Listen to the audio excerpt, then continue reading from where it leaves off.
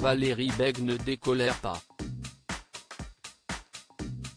Mardi 27 octobre 2020, l'ex-Miss France est de nouveau saisie sur de son compte Instagram pour pousser un coup de gueule. Je ne vais pas polémiquer davantage sur cette histoire. Les stéréotypes ont le don de m'exaspérer.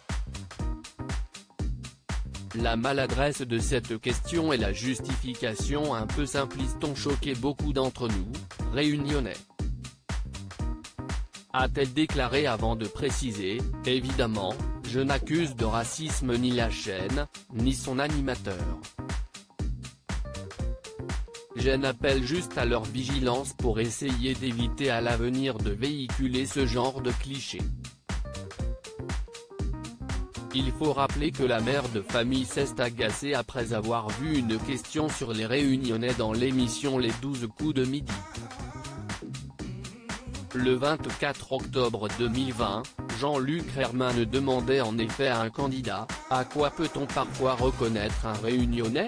Parmi les deux réponses proposées, il devait ainsi choisir entre leur ongle très long et l'autre, catégorie derrière laquelle se cachait la mauvaise réponse leur onzième doigt. De quoi donc mettre Valérie Beg hors d'elle Il est long cet ongle? Avait-elle d'abord réagi en publiant un doigt d'honneur en story Instagram? Puis, l'ex de Camille Lacour avait interpellé TF1 en déclarant « Honteux. Vous êtes sérieux? Un exemple tritement banal de racisme ordinaire. Les 12 coups de midi, le CS a saisi comme le précise Pure People, l'Union des étudiants réunionnais de l'Hexagone ont quant à eux décidé de saisir le Conseil supérieur de l'audiovisuel après la séquence des 12 coups de midi. Dans cette triste affaire, nous avons manifestement assisté à une sordide scène de racisme, diffusée à une heure de grande écoute, impliquant un public très large à travers la question à quoi reconnaît-on un réunionnais?